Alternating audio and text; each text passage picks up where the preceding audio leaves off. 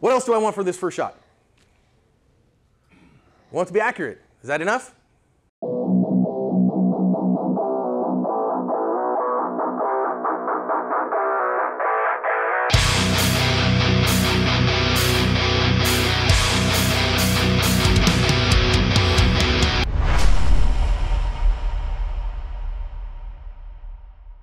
So we're going to call that as part of our accuracy, right? The other part of that, I want it to be fast. So just because I get the gun in my hand, how many times do my, how many of my friends go, oh, I got a gun in my hand super fast, and then I start looking at my sights and figuring it out and and finishing my trigger press. How many times as an instructor, you use your instructor see a student get a gun out super fast and then spend three quarters of a second figuring out the final shooting computation and letting it fly? Well, that they might have that much time, but would I rather hit him sooner?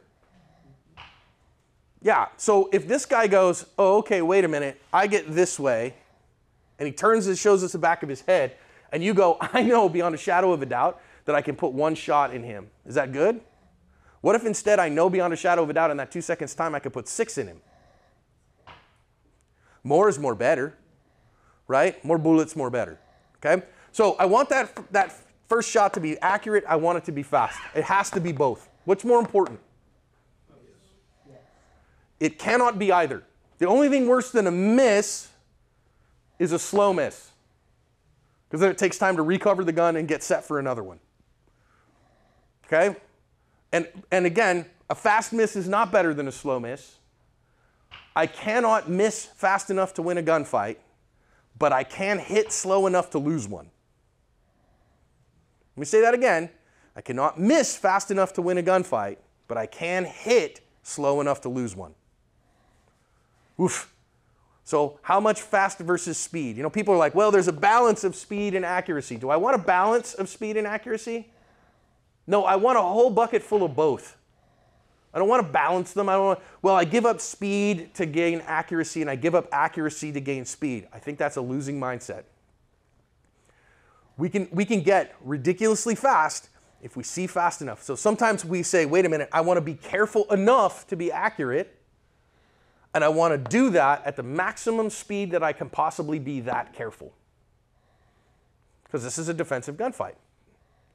So some of us are speed first shooters. Anybody here know they're a speed first shooter? They want to hear that bang. Kara's like, I need to hear that bang. That's Neil. Neil is an absolute rocket ship. All the fast twitch muscle fibers. Woo! Ricky Bobby, I'm gonna get a bang. Uh, who's my accuracy first, folks? They got to get an A plus, right? They got that eight inch circle, but they're really mad if it's not in the middle of the eight inch circle, right? They get that line break on the A, and they're like, oh, dang it. Like, hey, there's no A pluses in a gunfight, friend. You hit the target, yay, full points. But I could have done better. Well, yeah, but you'd have taken more time. You got the A. Take the A. Win. Good job. There's you, you shoot IDPA. There's no there's no alpha plus, right? It's alpha alpha. That's it. Okay, that's what we want to get. So shot one, accurate and fast. Cool. How many gunfights uh, will the first shot end the day? Sometimes I've seen the first shot end the day. If it's fast and accurate, yeah, it can. But is there a good chance I'm going to have to put more? Okay, so then number three, we put second and beyond. And I want the same characteristics, right? I want those second and beyond to go in the target where I want them. And I want them to go quickly. How quickly? Quick as I can process that I need more.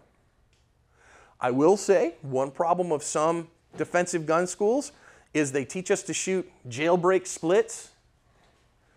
You know, uh, uh, and we're shooting this. If we could, if I could shoot 0.15, 0.13 splits, that's you know great. If I could shoot 0.19s, something like that.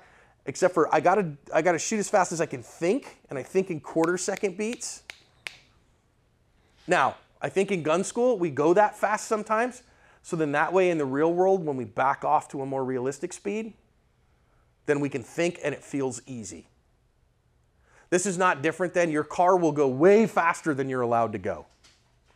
You know, your car might be limited to 150 miles an hour, and you may feel like, hey, I drive a Porsche, and so I can handle that because it can do that really well. Well, you're not going to do that, but if you know, if you've ever been to the track and you can do it at 150, then when you're driving on the road at 75 and something goes wrong, you still feel like you've got all day. I can handle this. I know how to handle this car at this speed. It's okay. So we, we will go fast, fast.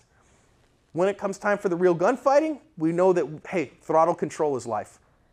And understanding I'm going to shoot as fast as I can think, yep, still needs to be shot, yep, still needs to be shot, and keep going. Okay? So shoot two plus. Anything else we know we're going to probably have to do? So at some point, and we'll get there in a minute, we're not quite there yet. We're going to have to put the gun away. The last one that we're going to put on here is multiple targets.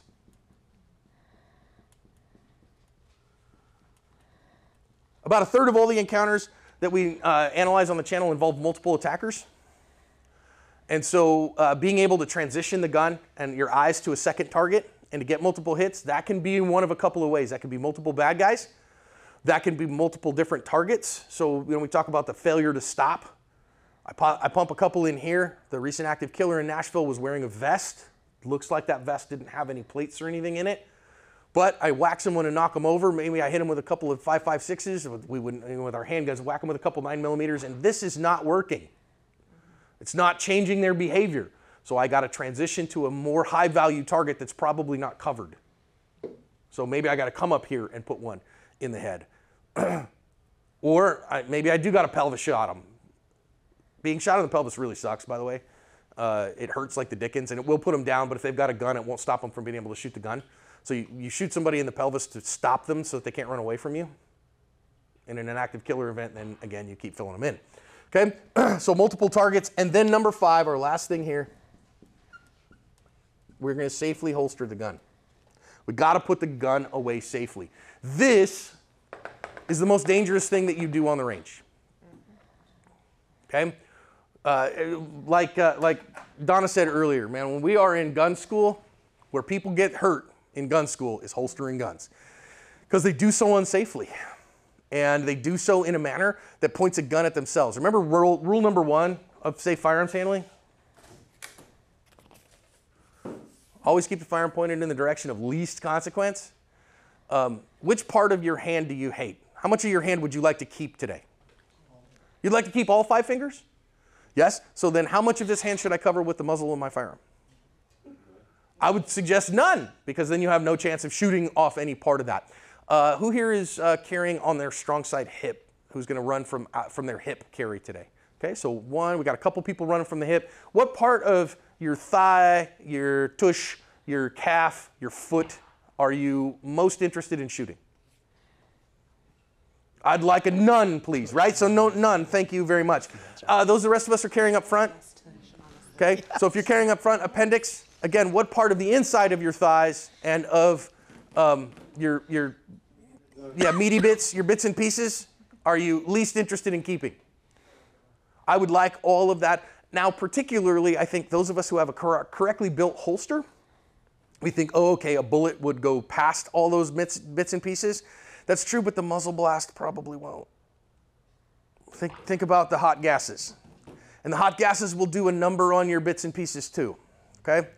Uh, let's not do that. And we, we very seldom see, I actually see more safety for people who are carrying up front because they, that tends to be a reminder to people. They tend to protect their junk pretty well. And so they tend not to do as much stuff. Whereas people, for some reason, they're like, ah, it's just my booty. I don't care. Put their gun away quickly. We don't want that. All right? So listen, those five things. If we can do those five things, guess what we've got in our gunfight? We got a B. I'm down with that. Now, if you can master these five, you got a strong B all day long. Now I could go work on this stuff and jump hay bales and you know clear houses and do all kinds of crazy stuff and and and you know shoot at 50 yards and do all the fun things that make me or go faster and high speeder. Okay? And they can be very fun. And I, would I like to get an A in my gunfight? Sure. I'd much rather get an A than a B, but I want to get the B first. If you're a fan of Active Self Protection Extra, you will love the ASP Unlimited app. It is chock full of everything that you love about ASP Extra and more, including full length, uncut, unedited classes from some of the best instructors in America. And it is also the exclusive home of the Video Active Self Protection podcast. Hit the link in the description or download it from your favorite app store today and check it out on iOS, Android, Apple TV, Roku, Amazon Fire, or Android TV today.